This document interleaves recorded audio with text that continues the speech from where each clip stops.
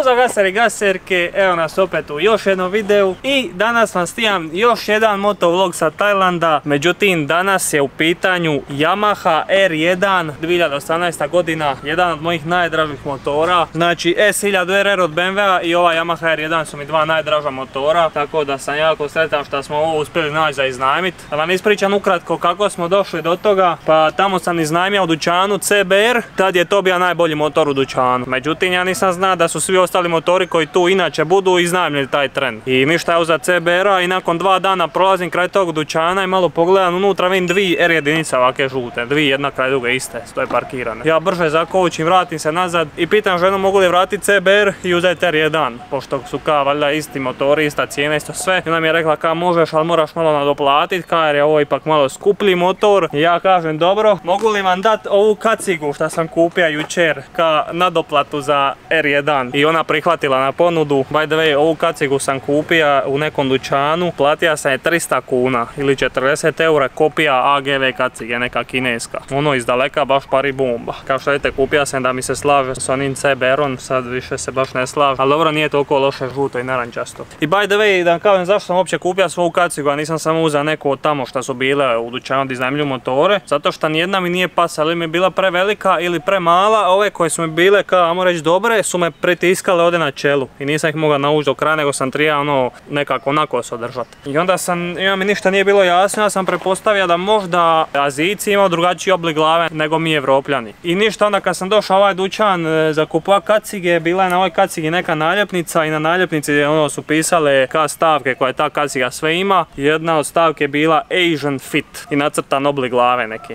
Tako da smo zaključili da Azijci imaju drugačiji oblik glave, znači ovo zada i nje spljošteno unutra i onda imaju znači drugačiji oblik glave od gore i zato me ta kaciga pritiskala u čelo, a slivo desno mi je bila velika. Tako isto sad i ova. Ali jebi ga šta je tu jer ne možemo naći ništa bolje, tako da će poslužit.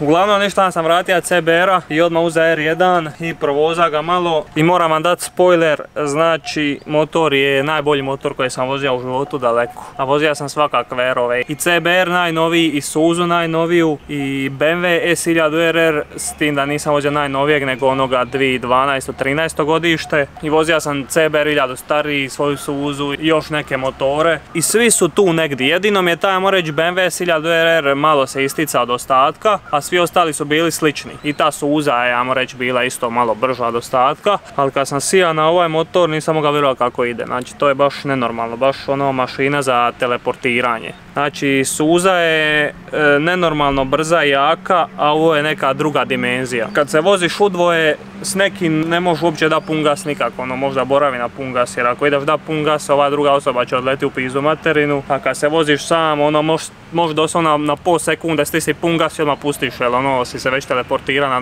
u drugu dimenziju. Tako da ga nećemo danas puno gariti jer je stvarno opasan motor i prebrz, tako da ćemo ga danas malo laganini provozati, pokazat ću vam kako ide. Neke više stvari od motoru, ovo je 2018. godište, ima 200 konja i 200 200 kila. Na papiru nema puno više konja od onog CBR-a, ima samo 11 konja više na papiru, ali ne znam, ili onaj CBR malo izdušen ili nešto, ali ovo je baš ono druga dimenzija od onog CBR-a. I ova Yamaha R1 i ona R1 prije ove, znači od 2009. pa nadalje, imaju drugačiji motor od svih ostalih motora od 1000 kubika, znači drugačija radilica i drugačije je paljena paljenja cilindara i zato se ovaj motor, ako već ne znate, čućete kako ga upalim, čuje se K2 cilindra, neka 4. Ovako na nižim okretajima, a kada ga provrtiš na veće okretaje, ima baš neki specifičan zvuk, čuje se isto kao moto GP oni motori. Oni su imaju istu tu tehnologiju, to se zove cross crossplane crankshaft i uglavnom puno glađe radi i može se više snage proizvesti sa njim. Ima puno bolji odaziv na gas i puno osjetljiviji odaziv na gas nego ostali motori. Što se tiče dizajna, isto mi je jedan od najljepših motora. Ovaj dizajn je izašao 2015. godine, ali još uvijek dan danas izgleda prebrutalno i premoderno. Kao možemo vidjeti ovaj prednji kraj kako su napravili, ima ovdje dvije pozicije male, totalno futurističke, ovdje ima usi za zrak u sredini, ovdje su mu ova dva, dvije lampe, ajmo reći dugo i kratko svitlo, skroz skrivene, tako da baš izgleda ono kao neki trkači motor bez svitala kad pogledaš na prvu. Ovaj motor ima ovaj Austin auspuh, baš se čuje brutalno, čućete kako ga upalimo. Rezervar mu je lip, taman širine, onaj CBR mi je nekako bija rezervar preuzak, parija mi je nekako igračka kad stojiš na njemu, a ovaj baš ima lipi rezervar taman širine koliko bi treba biti. I primijetio sam da mu e, Einstein mu je veći pariji mi se nego na drugim motorima. Kada više možeš volan okrenuti, ono dosta je korisno kad ideš negdje se usko okretat e, polukružno ili tako nešto. Onda možemo vidjeti zada kako su napravili ovaj rep gdje je ovdje dvije rupe, pogledajte ovo. Znači to je rep ovaj uski dio i onda ovdje samo ove dvije plastike idu KK neka za krilca sa strane. Jedina mana kod tog svega, to Ela može potvrditi, nije baš nešto najudobniji za sidit. Em što je ova spuža dosta tvrda i mala je i onda ono, nije baš najudobnije za, za suvozača, ali ono, priživ. I ovo udara u noge. Aha, i ovo je problem, možete vidjeti ovdje kako je žuto i odjednom ovdje crno. Zato što kad tu sidiš, svima tu noga grebe u tu plastiku i onda se tu izlizala boja i to isto ovaj, kaže Ela da boli ono kad ja dan malo više gasa ona malo stisne noge ono damo reći da se drži i onda on to bode u nogu direkt. Tako da nije motor idealan nikako za vozit se udvoje na neke duže relacije ili za neke brze vožnje. Udvoje čisto za pribacit se negdje ono. Ima digitalni ovaj celer kao i svi novi motori i tu imaš svakakve neke informacije, isto imaš modove vožnje kao onaj CBR, isto možeš e, minjati snagu i odaziv na gas, ovdje je protoproklizavanje, a ovdje mu je sistem e, koji ti ne da da ideš nakolo. Znači kad e, ono daš pun gas i on te počne diza nakolo, ovaj ti ka, reći, smanjuje gas da te drži rano, da možeš dati pun gas ići maksimalno brzo bez da te diže na kolo. Da ne moraš ga sam dozirati. To sve služi za, ajmo ljude koji su ili početnici ili nisu toliko dobri vozači, da im on pomaže da šta bolje voze motor i da šta, ajmo e, bolje vrijeme na stazi mogu dobiti tako dalje. Ovdje isto sa strane baza ima, ovdje e, ti pokazuje koliko stišćeš gas i pokazuje ti G sile dok kočiš i dok ubrzavaš. Ima dosta korisnih stvari, ali opet nije ništa sad ono revolucionarno da ne može biti bez tog displeja Ništa to nije prebitno dok ti voziš motor, najbitnije da se on vozi dobro, da ima snage koliko želiš, da koči dobro i tako dalje. By the way, kilometri se prikazuju u miles per hours i onda ja gledam ti daješ pun gas, ono 50 piše, 60, ja gledam koji kurac je s ovim ne, pokvarilo se. Da. Šta se tiče praktičnosti, pokazao sam ovaj CBR, nije nešto prepraktičan, ali isto možeš staviti mobitel novčanik ispod sica, međutim ovdje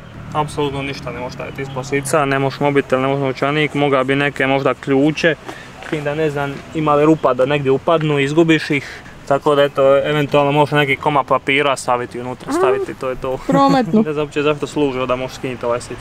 Da možeš staviti plastiku, jer se niko neće voziti na tome. Aha, i to je.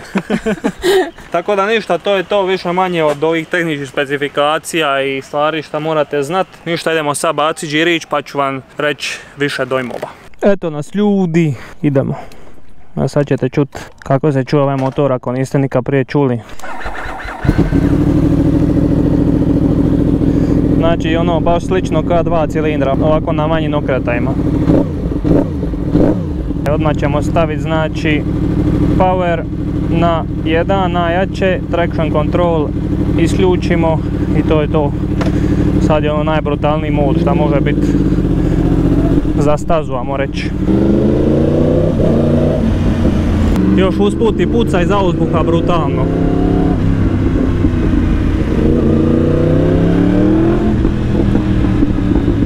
Ne znam, možete čut. A moraš mu malo gasa dat, ono, isto ka, isto ka 335. Pustiš gas i onda mu samo z gasa daješ, samo milimetar. I onda on pucketa lagano. Sad ne znam to mapa, ne znam je ovaj mapira motor pa to radi tako ili je to tvorničko.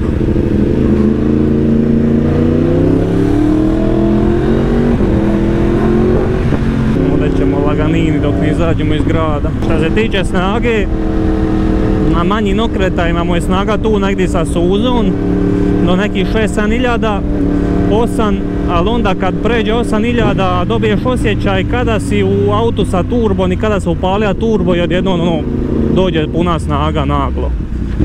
Tako da ne znam točno, ne znam točno zašto je to tako, pomoću koje tehnologije nisam baš dovoljno istražio, jebi ga ljudi, je sve nešto naprišu, ali baš je ono zanimljiv osjećaj. Kad ga stisneš u drugoj pun gas, onako krene i ide, ide i kad dođe do 8000 odjednom podivlja ili počne proklizavat zadnje kolo ili te digne na kolo. A u prvoj nema šanse da pun gas bez da te digne na kolo, odmah isti tren te počne čupat gore. I to ono naglo te isčupa, nije ono da lagano počne dizat.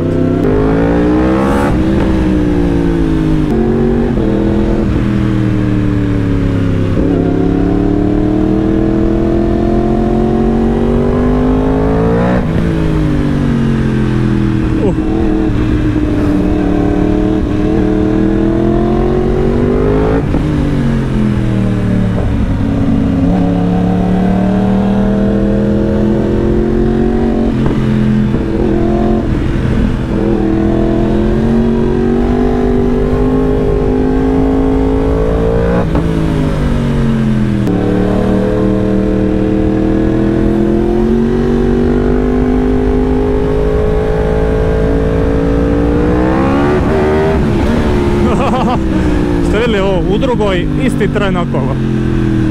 A nisam niti pun gas stisao. Majko mila.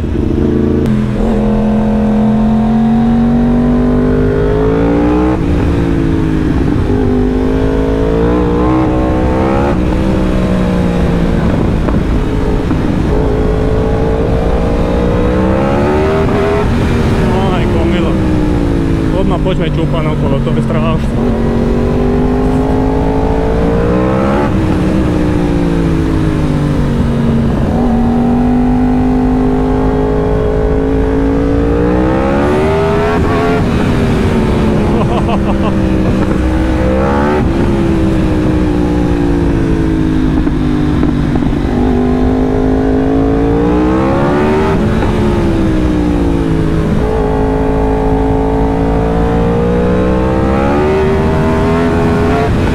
Pogledajte ovo, strašno nešto.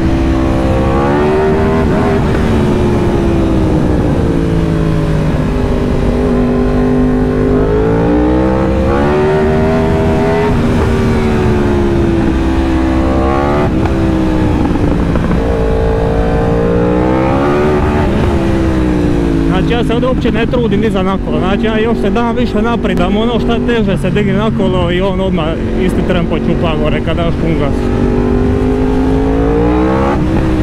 Onaj CBR jučer što sam vozio, kad mu u drugoj daš pun gas, ništa ne dižete nakolo uopće. U prvoj nekako jedva, u prvoj te tek počne dizati ono na većim okretajima, a u drugoj nikako. Tako da ono baš ima velika razlika u snazi. Evo ovdje sam iznajmio motor, sad ćete vidjeti šta je sve parkirano, evo R6 novi. Svašta nešto zanimljivo ga ima unutra.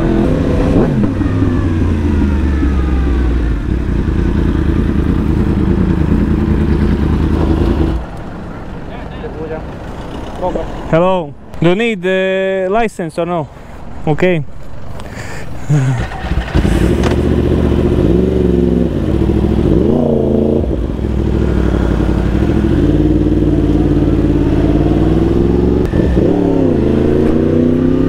Eto, ne treba i ništa izgleda.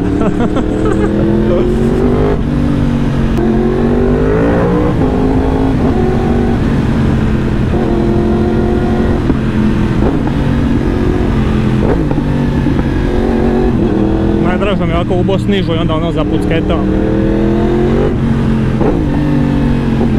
Baš je gušt ovako nabijat gas e, u nižim okretajima ovako.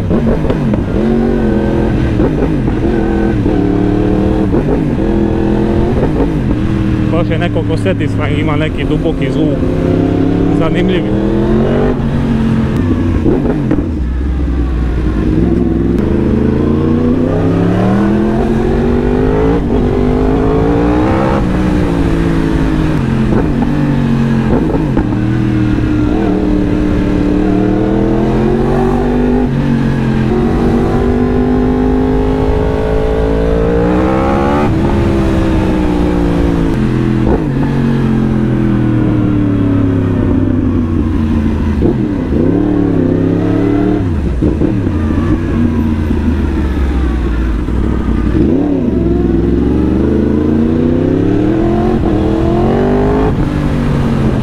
Ponovno pričati o ovdje cestama i ovoj vožnja lijevoj strani i vožnja Tajlandu i tako dalje.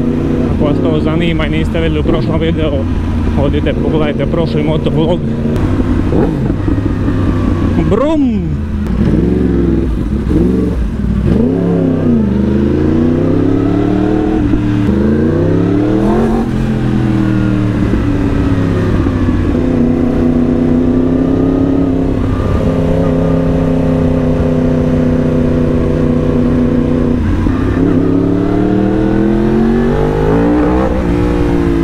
Aha, jeste vidjeli to? Tamo kad sam bija sta, sam ugasio motor i ugasilo mi se ovo protuproklizavanje, ovaj sustav protiv dizanja na kolo i sad kad sam malo stisao prvo i odmah mi je prekinja gas. Moraš stati na mjesto da bi to nazad uključio. Eto.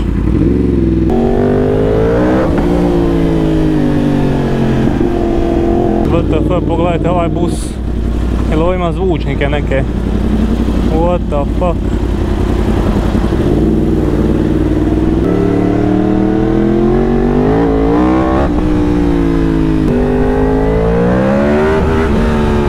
Pogledajte kako isti tren čupa na kolo. Majko mila moja.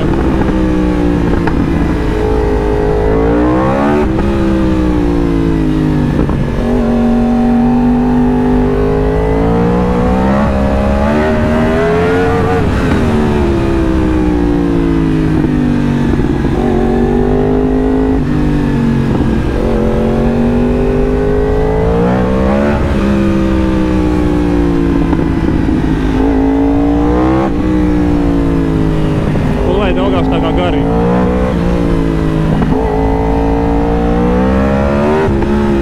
Do sad svaki motor što sam vidio da izgleda KR na prvu, kad dođe bliže vidim da je ono neki bez vezi, ono, onaj početnički R neki od 300-400 kubika. Tako da ono nisam vidio, ja mislim skoro nikoga osim mene da vozi R ovdje.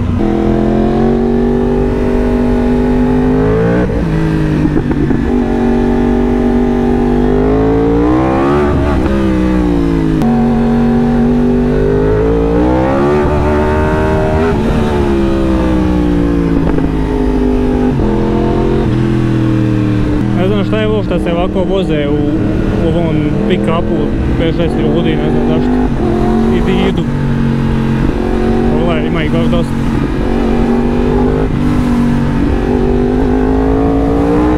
Ova cesta mi se ne pari nešto predobro. Pari mi klizavo, tako da ga tu nećemo previše ležarit.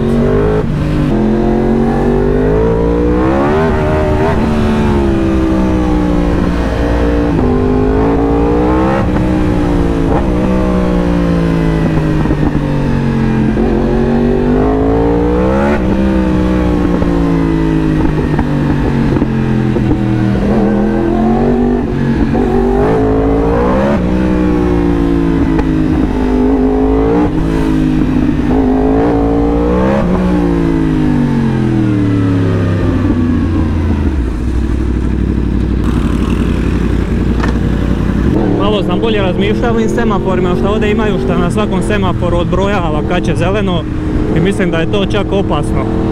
Zato što vidjeli ste sad ovoga vidja je tamo da će zeleno za 2 sekunde i on je krenija. Ako neko iz drugog smjera taman uvati ono crveno, misli ka mogu proći i uvati početak crvenoga, mogli bi se sudari bez greške. Tako da je to bolje da nema toga odbrojavanja u nas.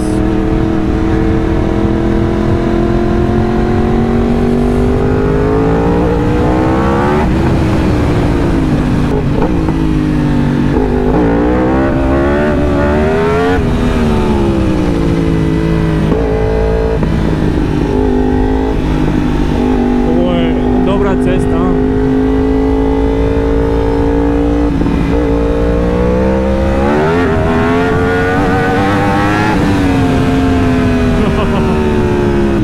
Ovaj motor još nisam jedan put razvuka skroz do blokade, a ono što mu više okreta i se dižu to snaga, ono baš raste pun kurac. Tako da ono baš nenormalno ide ono od 12 do 15 hiljada okreta, ono baš je nemoguće. Ovo sve što ga ja garim nisam prošao ne znam 11-12 nijedan put. a ima sve do 15.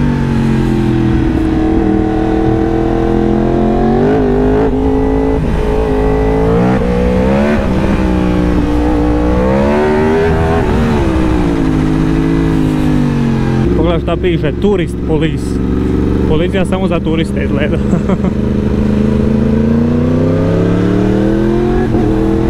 Ali puno teže ga je vozi nakolo nego onoga CBR-a ili Suzu. Zato što mu je toliko nenormalno osjetljiv gas da je to strašno. Dobro, mislim, mogao bi ga staviti u neki manji mod gasa pa bi bilo vjerojatno bolje za nakolo. Ali ovako je zabavnije ga voziti kad je ovako osjetljiv gas. Baš je ono, povezanost tebe i mašine je strašna. Ovdje mi je bez veze cesta, ovaj ima previše gužve, ne mogu ga nigdje ono malo rastegnuti.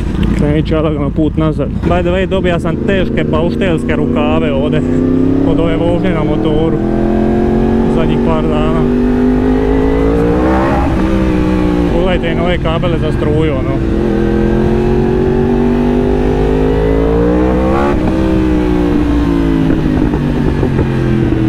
Kako lipo pucketa, mmm. Pleše malo guzica tu, da? Oće, oće. Nenormalno je vruće, ovdje ono kapa mi znoj s nosa.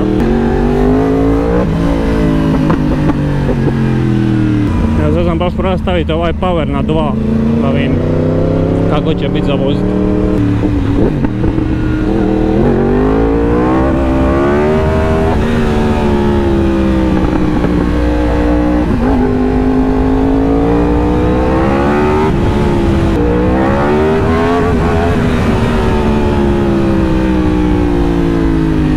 Kako ga propinje, to je strašno.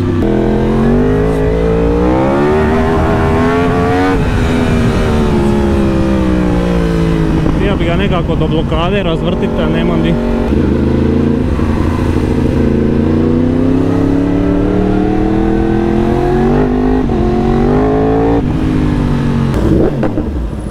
Uh, skužio, ako ideš livo, skoro na svaki semafor možeš proći kroz crveno i proći livo.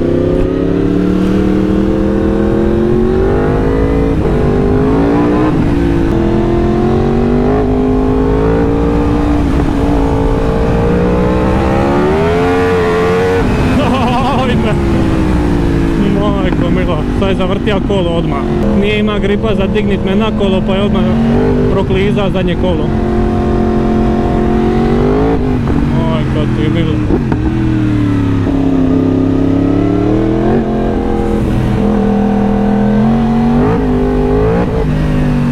Ovdje je cesta grozna.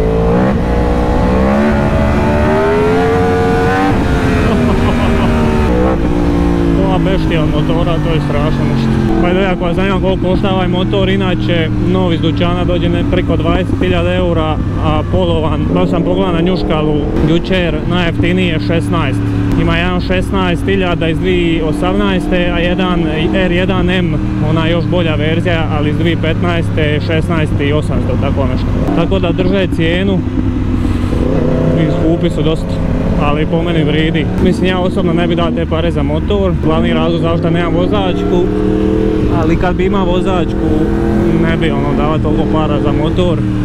Tražio bi ne, nešto do 10 možda, kad bi upgrade od suze. Kako počne vrištat, kao neka životinja počne vrištat na većim okretajima. Ne znam, možete preko videa vidjeti ovo čemu sam vam priča kako daš pun gas i ono kao on krene, ništa, ništa i onda odjednom ne znam, ne, ne gledam u celer, ali ovako od prilike pari mi se oko 7, 8, 9 hiljada okretaja odjednom podivlja i počne vući duplo jače. Ne želim ga puno leža, ne znam kakve su mu gume, Mislim, mogu vidjeti da su nove neke, poprilično nove, ali mi se pare neke kineske gume, nisu neke nešto nešto. Da imam previše povjerenja u njih. Ono, lako za zadnji kraj, najviše se bojim prednjeg kraja, ono, zadnji možeš spasi uvijek, jer ga, kad si na gasu i osjetiš da klizi, samo lagano olakšaš gas, ali prednji je problem, ono, ako uđeš u čošu i pustiti prednji kraj, teško ga više vratit, samo ono, dole klizneš i to je to.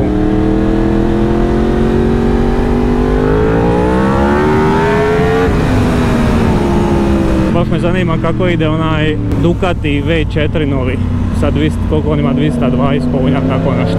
On i onaj H2 i H2R. Ne možeš vjerati onda kako H2R sa 320 konja može ići, to je nenormalno nešto. To vjerojatno sve do pete, ne možeš si pun gaz bez da te diže na kolo.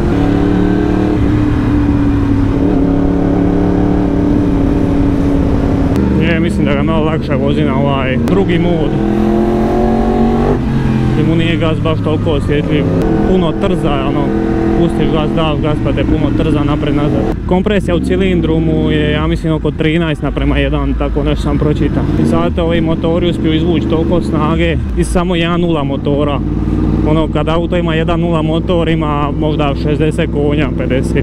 A ovi R motori, 1.0 motor, 200 konja. M što je velika kompresija i M što ga razvrćuju do brutalnih okretaja, 15.000. Što ideš više u okretaje, to imaš više snage. Ali da bi mogao tako razvrtiti, svi dijelovi moraju biti ultra lagani i mora imati tvrde oprugice od e, hidropodizača da može zatvarati ventil dovoljno brzo na tim velikim džirima i onda jebi ga šta više izlačiš konja po litri to motor manje traje. Ti motori 1.0 u autu šta imaju 60-70 konja koliko već mogu proći 300, 400, 500 hiljada kilometara, a ovi u motoru, ne znam, mogu priko 100 hiljada.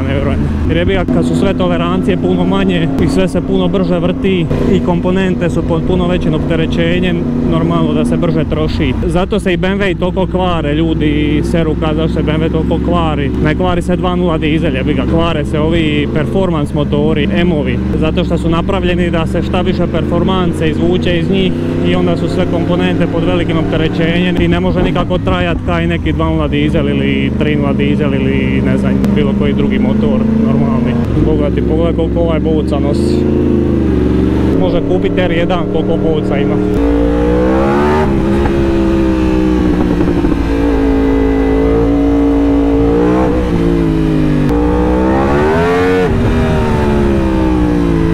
Majko mila koji zvuk. Evo neka G klasa nije loš. Mislim da kod nas se misle da je Tajland e, baš ultra siromašna država, ka Indija ili tako nešto, ali zapravo uopće nije tako. Možda je slabiji standard nego u nas u Hrvatskoj, ali nije sad nešto presiromašno. Ono, dosta sam dobrih auta vidio na njihove tablice i ono, ljudi žive dobro, svi imaju posao. Nisam nigdje vidio beskućnike, tako da nije loše što se toga tiče.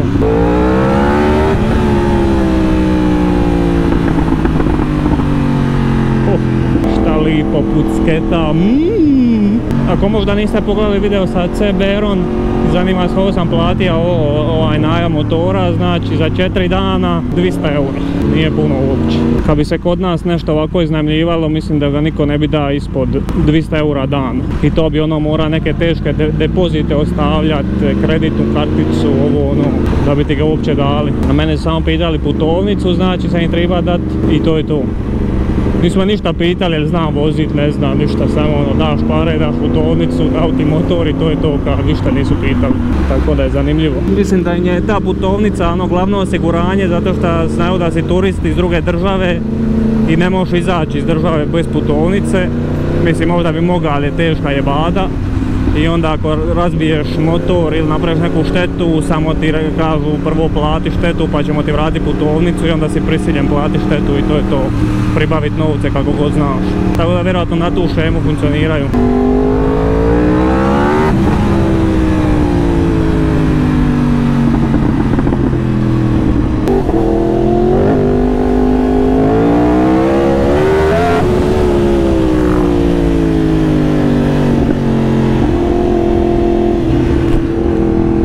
Ja čuti izvanka, baš me zanima kao se čuje.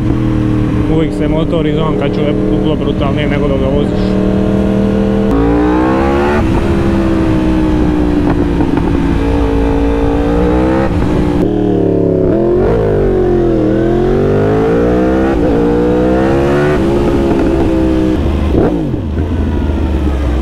Evo mogao bi sad pravi 1.0 do 60. var snart bor jeg.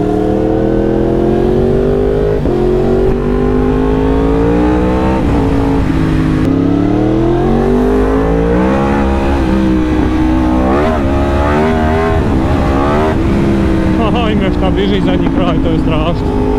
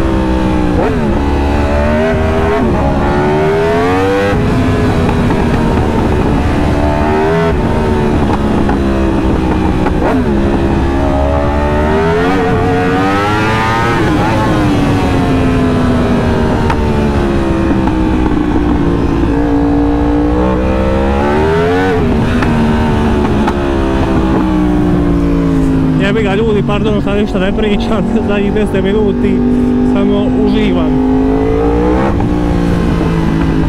Majko mila. Nisam ga još nijedan put stisao u trećoj, niti planiran, jer to je ono, smrt. Ovo malo prva, druga, mislim da nisam nijedan put uvatio preko 150-160. Tako da ono, to je prihvatljivo, ovdje su sve otvorene ceste, vidite ste gdje sam ga stiska, samo na otvorenim cestama gdje ono je pravac ispred mene, nema nikoga. Tako da je to ok, ali ono, da sad idem treću bo Bosti i razlaži ga u trećoj išla bi 200 i nešto i to je neprimjereno totalno za ovu lokaciju.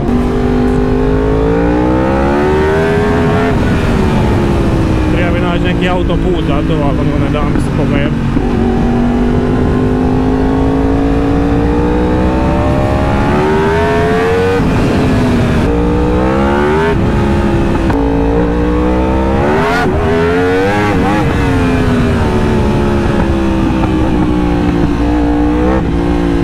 Najdraže mi je ovo u prvoj ga stisni pun gas. Osjetiš brutalnu snagu i moć i, i ovaj zvuk. Ne treba ti ništa više.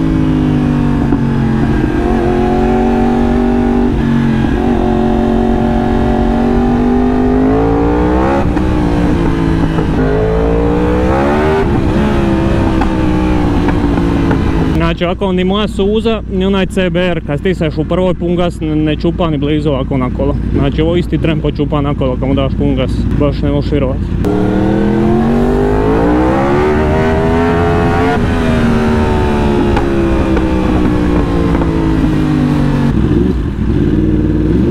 Evo pogledajte kako svi samo prođu ako ga se ide livo. A i vidio sam neki znak sa livom stranicom tako da je to vjerojatno ovdje legalno.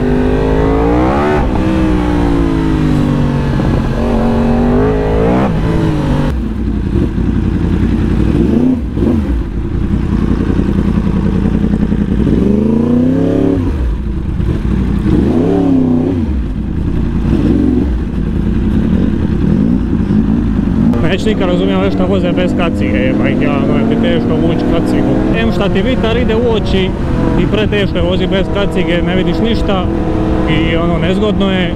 I em ono ako padneš bez kacige, najeba si debel.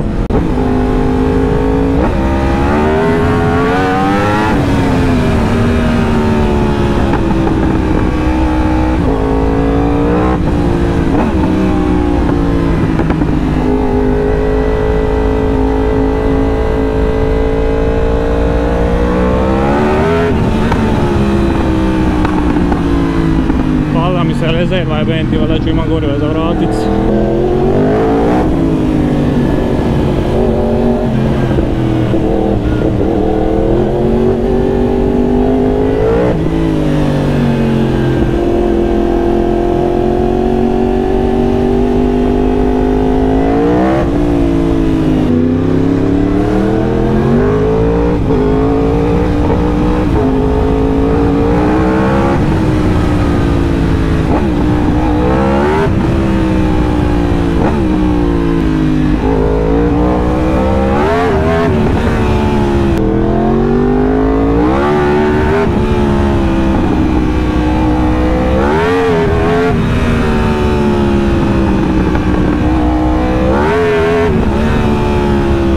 ona se dan skroz naprijed i on odmah počupa na kolo. Nema šans.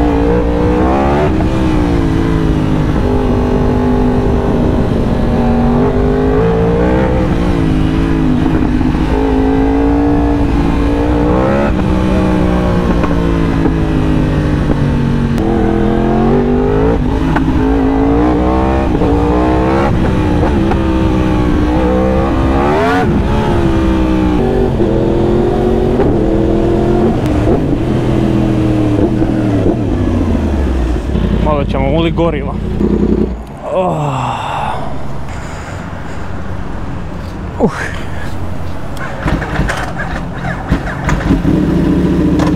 Nešto slabo pali, pari mi se kada mu je baterija pri kraju. Pa mu je zabavno ovako malo dala gas na leru.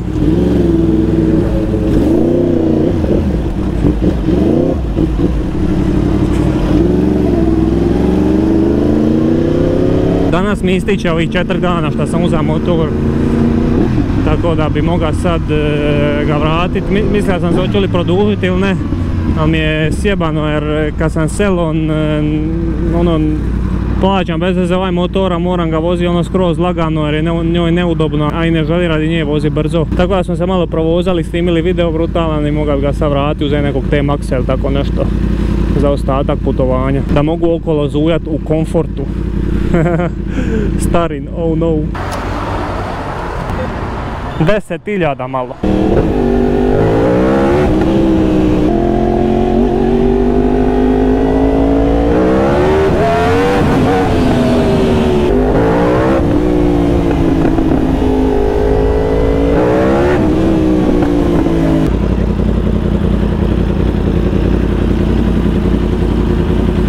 Pogledajte ljudi koje sve motore ovdje imaju. MT-10 R1 isti kao onaj CB što sam vozio dva Tracera, T-Max tamo izad, unutra MT, MT-9, R6 novi, još jedan MT-10, još jedan MT-9, Z1000 i MT-07. S tim da vjerojatno nešto i iznajmljeno, vjerojatno nije sve tu, tako da ono, brutalno flipu imaju. Sad ću vidjeti uzet ću ili T-Maxa ili Tracera 900 vidjeti. Evo ljudi, zvala sam Elu pita šta ću iznajmit i rekla mi je T-Max ali jebi ga. Na kraju sam ipak uza Tracera, šta ću. Do sada mi je T-Max, jebi ga. Malo da sam u komfortu, a da se isto možemo zabaviti. Mislim, i s T-Maxom se isto može zabaviti, ali ono... Nisam nikad provozao ovog Tracera, baš me zanima kakav je. Ide dobro, mogu vam reći venti mater protoproplizavanju. Kako ga izgasiti. Izgleda ljudi da se nešto pokvarilo, ne znam šta se dogodilo, ali ovaj botun tu bi treba to kontrolirat. Sad sam se išla tamo vratit da uzmem onaj drugi jer je bilo dva tracera i taman ovaj tren neko uzeo taj drugi. Jebe mu mater. Tako da sam sad zapeja sa uključenim protoproplizavanjem i nervira me jako. Ali dobro ide ovaj tracer, mogu vam reći, zvuk je brutal. Se sviđa jako. ide baš, baš dobro ide, zadovoljan sam. I udoban je ja. Ono je suspenzija mekana totalno. Mislim to je takav motor, jebi ga, kad, kad zakočim koliko potone prednji kraj.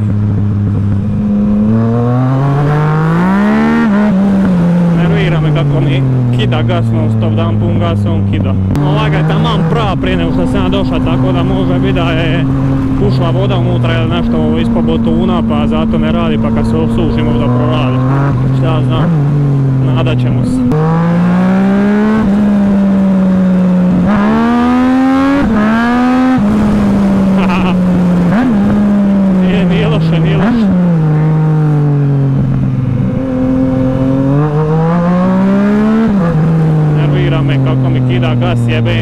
Jebem ti, ja bi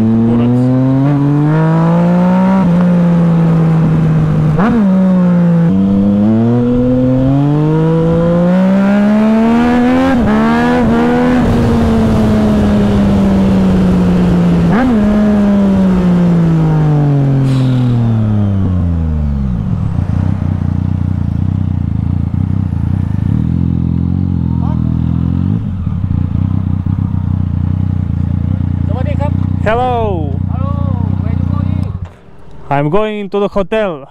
Slowly, slowly. Nah. Okay. I didn't go faster than maybe 60, 70. Uh, uh. It is only loud, bah, bah, okay. but it's not very fast. Okay, now, now you ride slowly. Yes. And uh, safety for you and safety everybody. Yes, of course. And I agree. And not jumper. Yes, yes. Okay. Oh, six pack. one pack. Only one pack. Six, one pack. I need a one. One pack as well. Okay, slowly. Thank you, okay. Bye bye. Dobri su, dobri su policajci ovdje moram priznat. Sloli, sloli! Ali prečudno pričao engleski, ovdje baš ih je teško razumjeti. Ogromna je razlika sad između R1 i Tracera. Nije da se on sad osjeća sporo, samo jebi ga dosta je sporije od onoga, ali svejedno je dosta brz. I zabavan, nije sad resport nakon onoga totalno.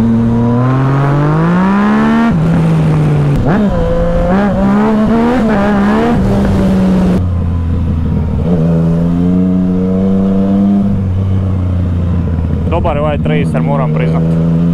Sviđa mi se.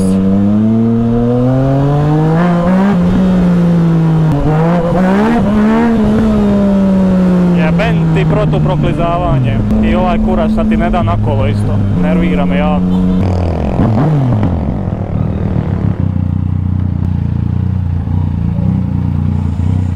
Evo nas ljudi nazad kući, nadam se da ste uživali u ovom drugom motovlogu iz Tajlanda. Kao što ste vidjeli po videu, ja sam bio preuzbuđen oko vožnje serije 1. To mi je bilo prvi put u dugo, dugo vremena da sam sjela na neki motor, da sam baš bio uzbuđen što ga vozim. Jer onako, kad voziš motore non stop, jednostavno otupiš na taj osjećaj. Ono, bude ti zabavno kad ideš na sve jači jači motor, međutim kad dođeš do jedna jačeg i voziš ga neko vrijeme dosaditi i ne uzbuđujete uopće. Tako da je mene suza totalno prestala uzbuđivati, nisam nikako vozio, uzeo bi ono jednom svako mjesec, dva dana da ja jela idem bez veze udrit spor i džirić po gradu i uopće ne bi vozio brzo ni ništa. Međutim kad sam sija na ovaj R1 baš sam bio ono pre, presritan dok sam ga vozio i sve mi je bilo nešto novo i nova snaga i novi osjećaj i na kočnici i novi zvuk. Tako da mi ono u svakom pogledu ova Yamaha R1 bila najbolji motor što sam ikad vozio. Nisam baš detaljno pričao o osjećajima vožnje dok, e, dok sam vozio, samo sam onako bio iznenađen kako dobro ide, ali uglavnom i kočnica on je pre dobra je preagilna je i lagana i gas je preosjetljiv i ide pre brutalno, baš ono sve sve ispunjava i još izgleda pre brutalno usput. Tako da je to sigurno jedan motor što nekad u životu želim imat, ali mislim da neće biti sljedeći. Nakon suze ćemo vjerojatno upgradeat na BMW S1000 RR jer je to isto jedan pre pre pre dobar motor i usput je BMW i usput je dosta jeftiniji od ove Yamahe. Ali sve u svemu jako smo se zabavili, nadam se da ste se i vi zabavili uz ovaj video. Tako da ništa ljudi, to je bilo to od ovog videa, hvala na gledanju, aj boj,